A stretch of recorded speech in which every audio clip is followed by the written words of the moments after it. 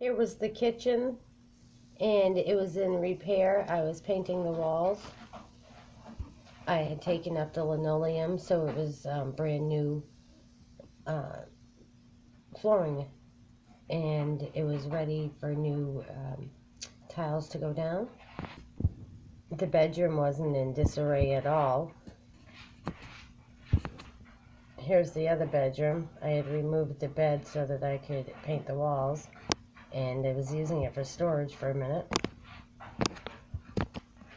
Here's the other bedroom. It wasn't in disarray either, but I had moved this bed out and used it in my room, and this room was my office. The outside of the home.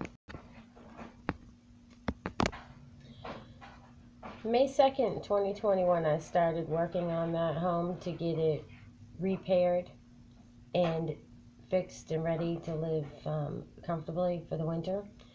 And during that period of time, during the summer of this past summer and fall 2021, I worked hard to clean up that home and living in it.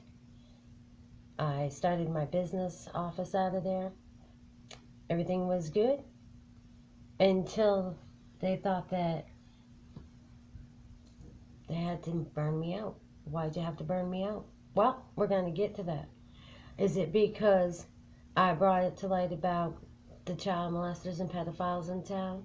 Is it because I mentioned about the churches and the oldest graveyard and about the people stealing property in this town? What's it all about? Because everybody knows that United States Postal service in North Anson was um, frivolously messing with my mail. They know that all kinds of frivolous acts were taking place against me.